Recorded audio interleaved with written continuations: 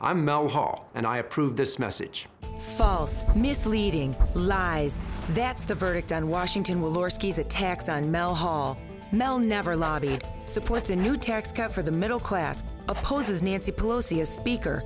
And here's Washington Walorski's newest lie. I voted to protect patients with pre existing conditions. Wrong. She voted 11 times to take health care away from Hoosiers. The South Bend Tribune called Washington Walorski's votes reckless.